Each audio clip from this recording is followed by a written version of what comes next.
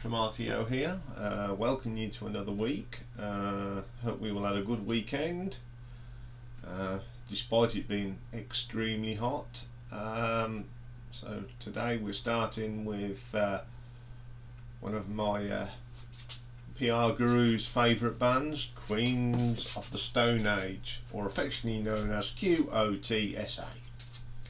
Um, they're an American rock band that were formed in 1996. Uh, they're all from around the Palm Desert area of California. Band was founded by the vocalist and guitarist Josh Homme. Now, one thing when I was doing some uh, research into this, they've had so many change up changes in the lineup. Um, it's never consistent, so I'm not even going to attempt. They've had about 12, 13 musicians play on all their albums, and they've never been the same until later on. Um, so we've got seven albums to go through. Uh, once again, this is my personal choice. Um, if you disagree with me, and I don't mind that, put your um, preference in the um, comments box and uh, don't forget to subscribe. Some of you have, we're now up to 19, so if you've subscribed recently, welcome on board and um, hope you enjoy what we put out. So let's get cracking on the first one of the week. Okay then, coming in at number 7 is the fifth album released in 2007-ish I think uh, Era Vulgaris. Um, all these albums are pretty good, uh, but some of them have got tracks I'm not keen on, and that's how I've ranked them. Um, it's difficult because they're, they're very, very um, solid band, um, very persistent and consistent even. Right, so the first track on uh, this album is called Turning on the Screw. This has got quite a very weird riff. It's all over the place. The drums are all over the place, but for some reason, and don't know how, ask me why, it all works. It's a really good track. Uh, second track, Sick, Sick, Sick. This is a good solid track from uh, QOS, QOTSA. Um, does what it says. Incredible track very good riffs. Uh, number the third track, I'm a Designer.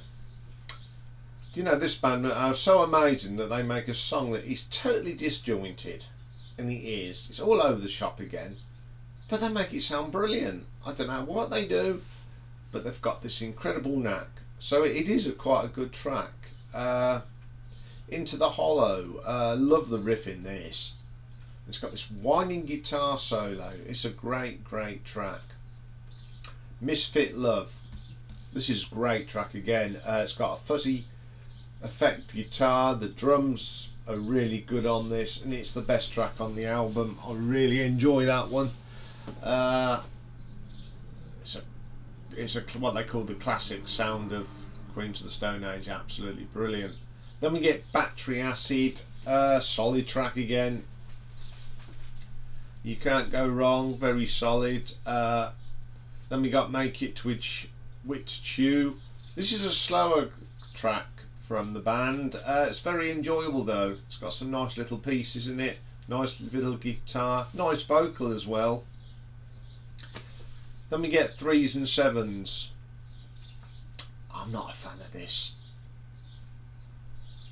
In places the vocal actually sounds out of key and it's sort of it just doesn't do anything for me.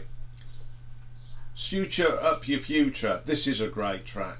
Uh, back to the uh, that great sound. Uh, then we get R River in the Road. This is even too just jointed for me.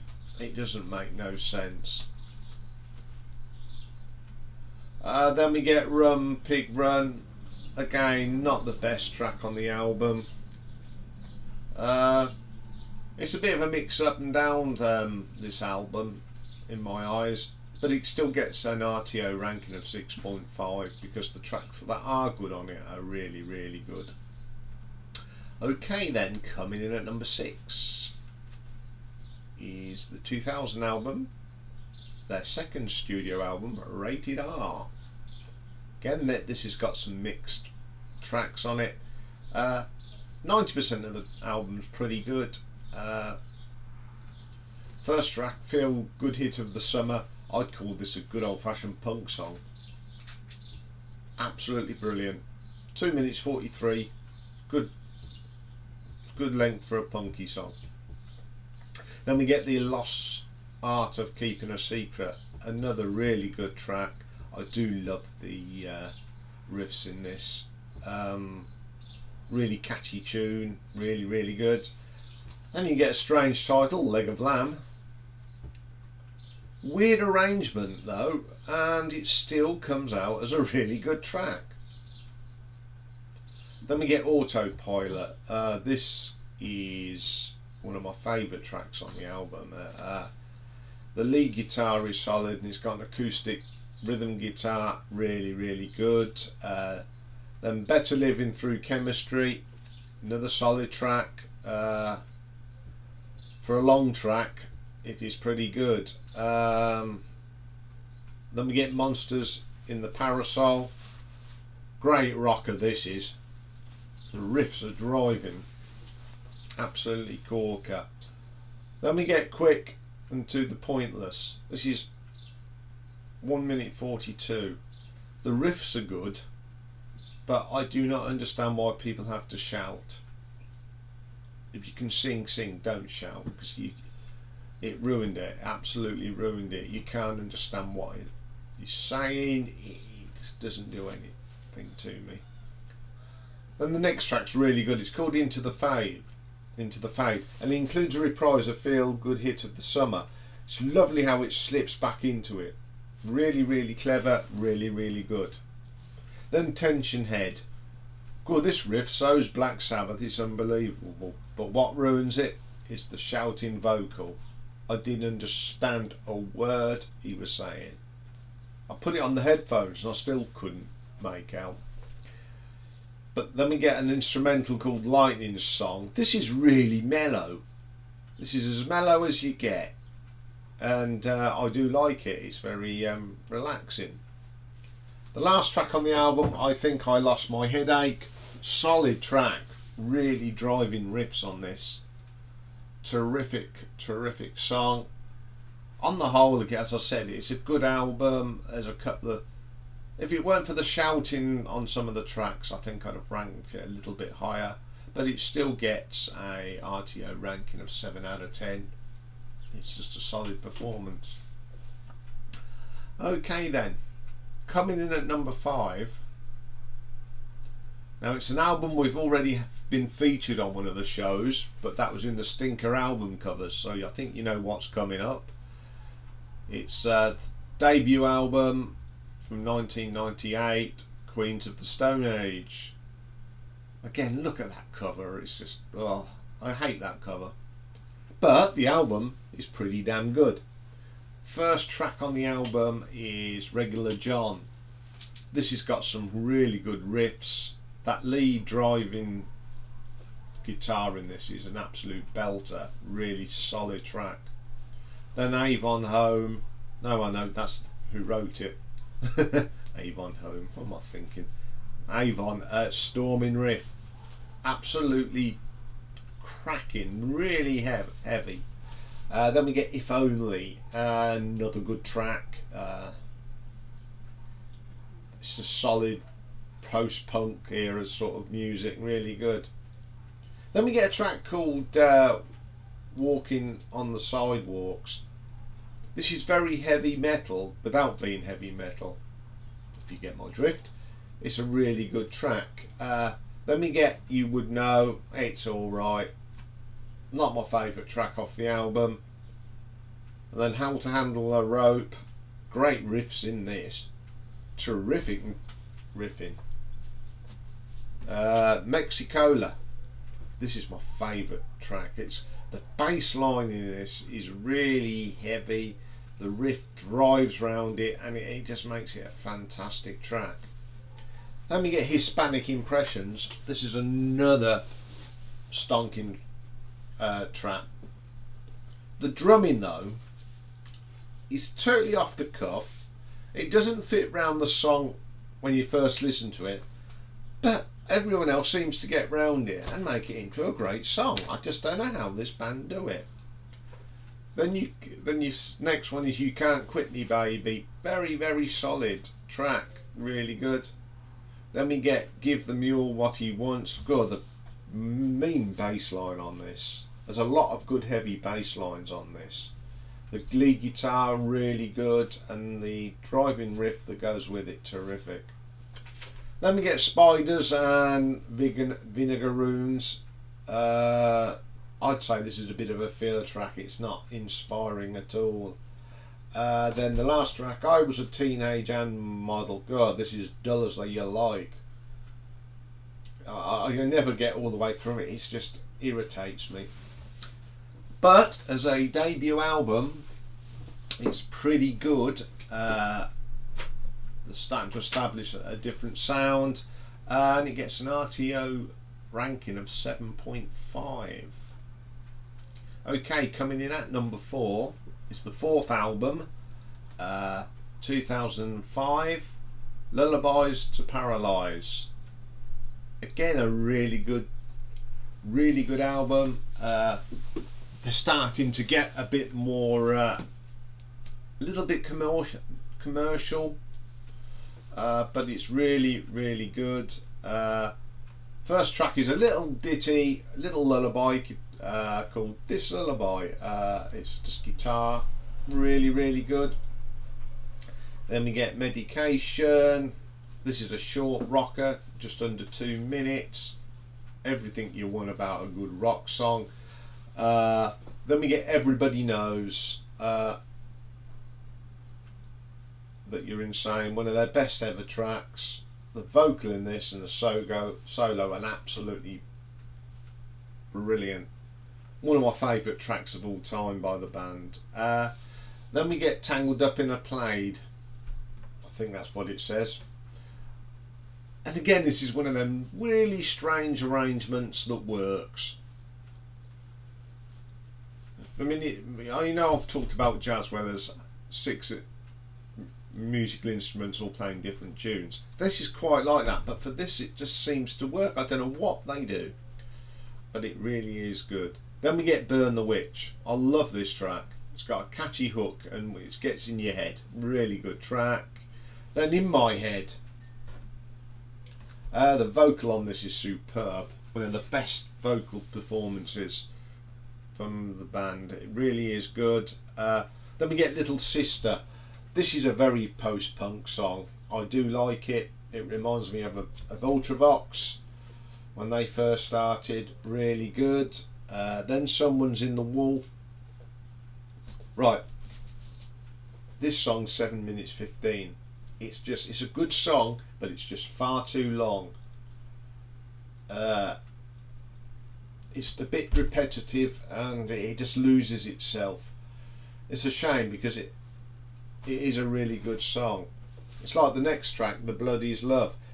Too long. Um, if you, if you're going to do long tracks, make it a little bit interesting. But this song is not interesting enough to to justify six and a half minutes.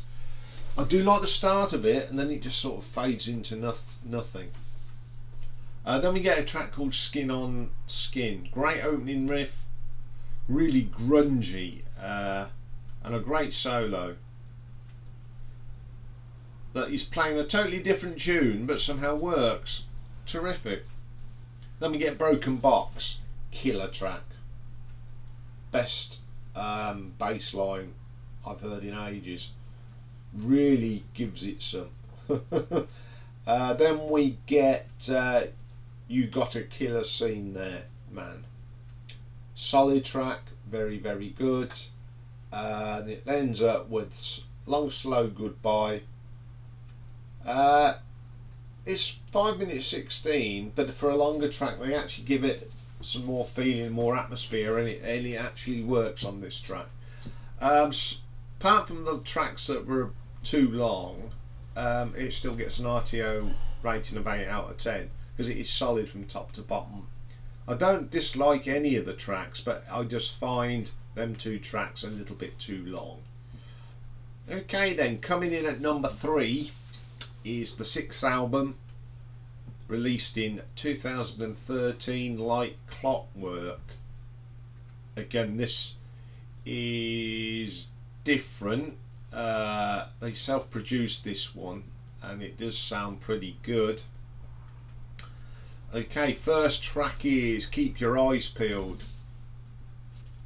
It's okay again but it the bass line is terrific, but the track is too a little bit too long again.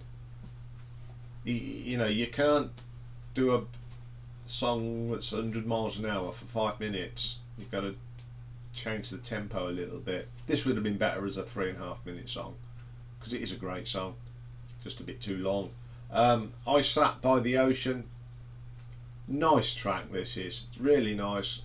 All the guitar work all round is fantastic. Then we get the Vampire of Time and Memory. This is a bit dull. It just lacks some beef. It needs something a bit more oomph, and that'd be a great track. But as it stands, it just doesn't doesn't do anything for me. Then we had If I Had a Tail. Uh, the solo makes this because if it weren't for the solo, it'd be a pretty average song. Uh, my God, my God is the Sun. Awesome this rocks to the rocks you to the bone. Uh, it's one of my favourite tracks. Really, really solid track. Then we get Kalopsia, uh, another solid track. Uh, it's got some piano on this, and it really adds to it. Then we get Fair Weather Friends. Uh, great solo, but what makes this track is the keyboards in it. They're starting to introduce a bit of keyboard here and there, and it works, and it really is good. Then we get another long track, I appear missing, but this is okay because it builds up. It starts off slow, and then it gives that them tracks that keep building and building and little bits of layers, and it is a really good track. And you don't realise it's six minutes long. It's like the title track, the next track, like Clockwork. Uh, again, a longer track, but it's got some atmosphere. It, it's got something behind it and it moves very nicely, flows. But on the whole, this is a fantastic album, um, and I give it um, RTO's ranking of 8.5. Absolutely stunning album. Okay, then we come to the top two. As usual, these are hard to split up because they are two absolute belter albums. And you'll be surprised what swung it this time. Nothing to do with the tracks itself, but it's something to do with the tracks. All will be revealed. So, coming in at number two, which will probably be a shock to a lot of people, uh, and it's a lot of people's favourite album. It's the third album from 2002, Songs for the Deaf. This is a solid album. It's it's been a firm favourite of mine for a long, long time. It is really good. Uh, your first bit you get is like a intro on the radio and that. It's quite nice. It gives you some feel. Then the first actual track is called You Think I Ain't Worth a Dollar But I Feel Like a Millionaire. Uh, good solid rocker here, but what spoils it is them shouting lyrics again. Don't shout, you can sing. No need to, just spoils it. Then we get the classic, No One Knows. Yeah, I don't have to tell you too much about that one. Very big hit, but it is a good song. Really good song. Then we get First It Giveth. Got a great bass line in this. Drums are brilliant. Fantastic riff. Then we get Song for the Dead. Uh, very good song, even though it's a long song. Again, the stack you know they've actually put some feel into it and it moves a nice nicely along. Then we get the skies falling. For a long song this is probably one of the best ones they've ever done because it's really good. It's got some nice runs in it nice guitar riffs nice drumming. Uh, and it adds and it keeps building and it falls away builds. It's a really good track. Then we get shit nearly said. it's because it is it. Six shooter. Uh, it's got some great riffs, but the vocals are just diabolical. That's why I nearly said something else. Um, then we get the Hanging Tree, another solid track. Really love that track. Really, really great song. Uh, it's got some nice uh, guitar work in that. Then we get Go with the Flow. Great guitar effects on this. This actually reminds me of early Muse. And I mean early Muse, it's before Showbiz come out. When they had the EPs.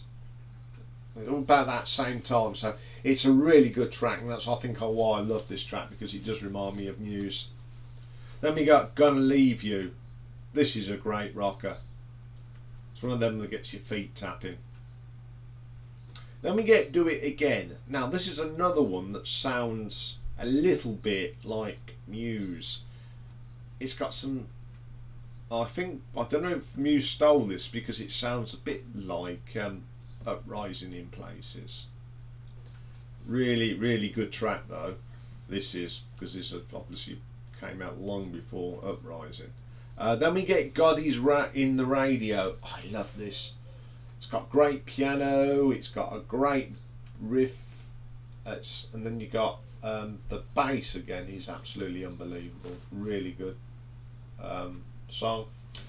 Then another favourite on the album, another love song. Great song.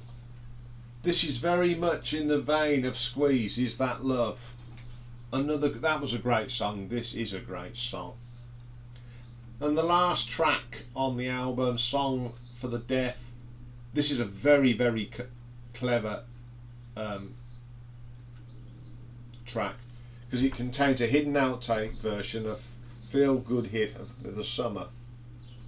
But they replace the lyrics with laughter. But the way it comes into the track and how it intermixes is superb. Great bit of forward thinking there, really good. So on the whole, it's it's a solid album. I love it to bits, and it gets a RTO ranking of 9 out of 10.